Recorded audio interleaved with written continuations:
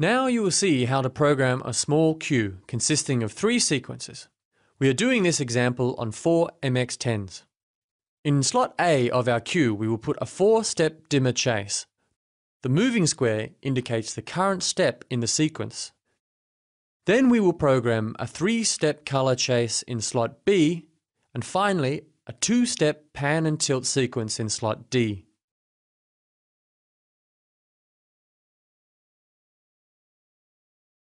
To start programming, we have to select the first MX10 that has to go into our dimmer chase. We press fixture and then press fixture button 1, which has been patched to our first MX10. Once pressed, Xciter starts the programmer with the first MX10 loaded and ready to be programmed. We want to make a dimmer chase, so we locate the dimmer channel, this one here. By moving the fader, we change the dimmer parameter of the fixture. We want the dimmer at full.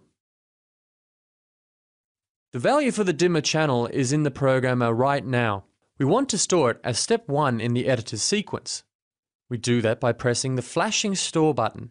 The main display now reads scene 1 of 1. We press the add soft key to add step 2 to the sequence. The scene counter increments by 1, now reading scene 2 of 2. When adding like this, Xciter duplicates the current scene into the added one. So we have to close the dimmer of fixture 1 and select the second MX10 and put its dimmer at full. You'll notice that the store button blinks. This is because the scene in the programmer is different from scene 2 in the editor. Remember that scene 2 in the editor is still a copy of scene 1. We press store and scene 2 in the editor is identical to the scene in the programmer, indicated by the non-blinking store button. Let's press add to add a step 3 to the sequence. Again we close the dimmer, this time on fixture 2. Then we select fixture 3 and put its dimmer at full. The store button flashes again. We press it and the scene in the programmer overwrites scene 3 in the editor. We do exactly the same with step 4.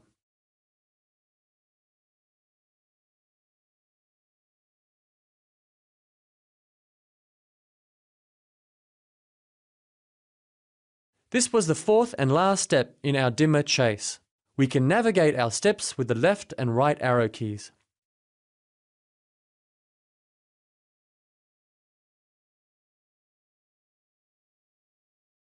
However, if we want to see our sequence with the correct timings applied, we have to go to the Advanced menu by pressing the double arrow key. In here, you'll find the Preview soft key. Press it to make Xciter simulate your sequence with correct fade and scene times.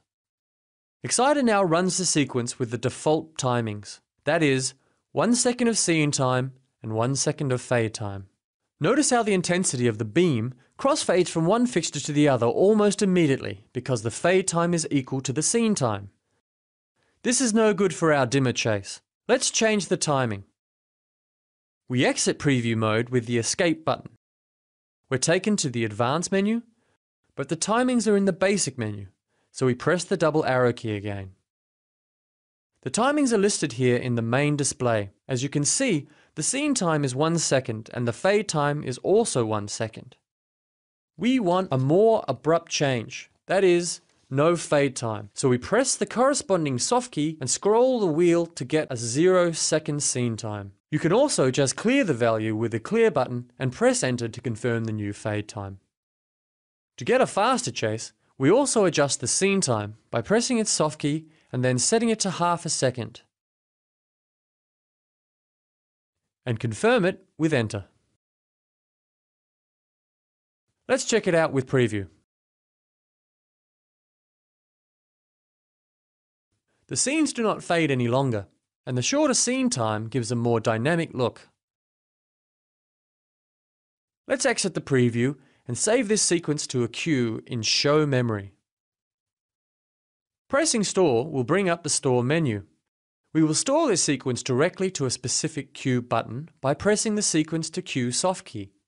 Xciter defaults to cue page 1, which is fine. Now we must determine which of the 20 cue buttons we want our dimmer chase assigned to. Let's pick Q1. If there is any background scene in the cue, the name displays here. In the main display, you'll see the four sequence slots. They are all empty. To store the dimmer chase to slot A, we simply press the A soft key, which in turn lights up to indicate the selection. We confirm this with Enter. Xciter suggests a default name for the sequence. Let's clear it with the Clear button and give it a more descriptive name. The number letter keys work very much like a cell phone keypad. Keys 11 to 19 are letters, with special characters on 20 and numbers on 1 to 10. We are going to name our sequence MX10 Dimmer Chase 1. We press enter to confirm.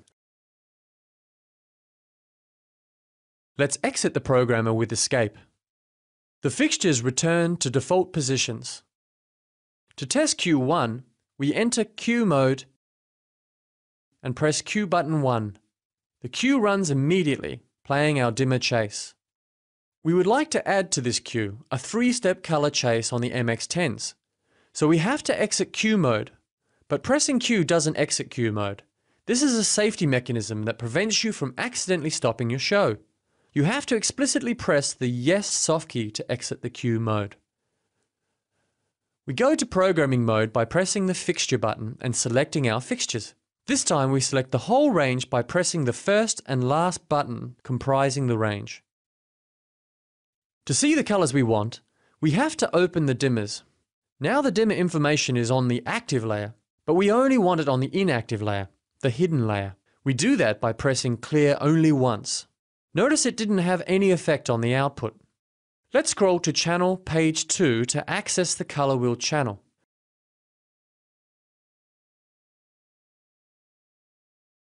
With the jog wheel, we fine tune the channel to a yellow color. This color will be the first color in the chase. In the fader display, the color wheel channel reads 165, and from the square bracket we see that the channel is in snap mode, which means that it will disregard the fade time in the scene and come on instantaneously.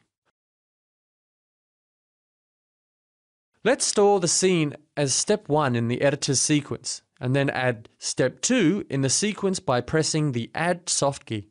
As you know, Xciter duplicates the current scene, so we can simply turn to the programmer and adjust the color wheel. When you start changing the scene, the Store button begins to blink. Let's press it to store the blue color in step 2 in the editor's sequence. Let's add the third and final step to our color chase. We pick a new color,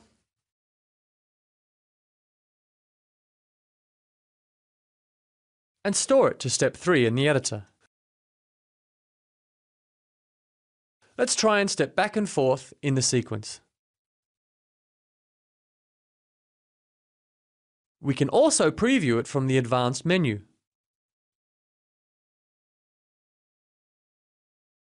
The colours change a bit fast, so we will return to the basic menu and adjust the scene time to 2 seconds.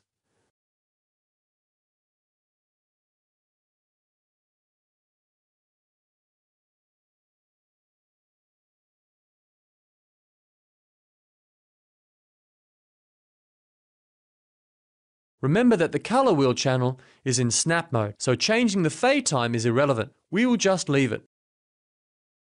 Let's store this sequence to the same cue as the dimmer chase. We press store once to store the change of scene time, and press store again to get to the store menu in order to store this sequence to our cue. We press the Q soft key because we want to do direct assignment of the sequence. Xciter defaults to cue page 1 and cue number one. So it's just a matter of selecting the slot in the cue where we want the color chase to reside. We put it in slot B and confirm with enter. We accept the default name Xciter suggests by pressing enter and the color chase is stored in cue 1.